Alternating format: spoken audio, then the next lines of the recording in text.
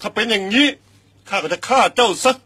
แล้วก็ค่อยๆตามหาผลิตเงินบายาทีหลังก็ได้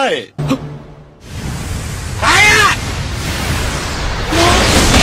ว้ายเจ้าปรารถนาผลิตเงินบายาด้วยเหมือนกันอย่างนั้นเหรอ ความปรารถนาของฉันรอไว้คือกำปั้นนี้ไง เจ้ามีพลังที่วิเศษจริง ๆ ด้วยสินะ ขอโทษป้องกันมาแล้วดูเลยเฮ้ยอ้าทักซิโดถ้าไม่เคยพลาดซ้ำสอง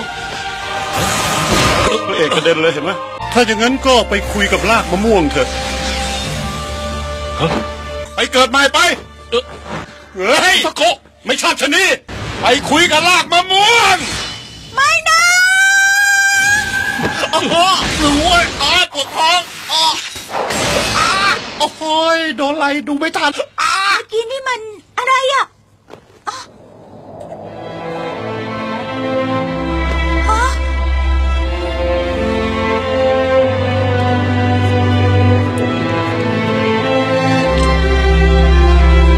ใครน่ะ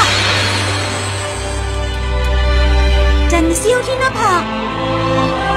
หรือว่าเธอคือ